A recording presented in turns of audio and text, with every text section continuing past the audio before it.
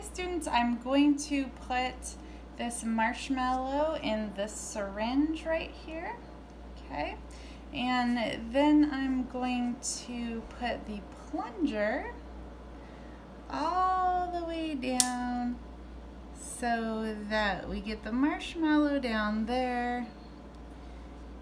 And I get as much air out of here as possible without squishing the marshmallow and then I'm going to put my finger on that end right there and pull the syringe back so you can see what happens to the marshmallow when we decrease the pressure there.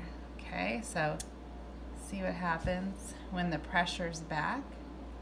And then I'm going to get a fresh marshmallow and I'm going to put it in the syringe. And I'm going to put the plunger in. And now I'm going to increase the pressure on the marshmallow. So you can see what happens to the marshmallow when we increase the pressure a lot decrease the pressure, increase the pressure, decrease.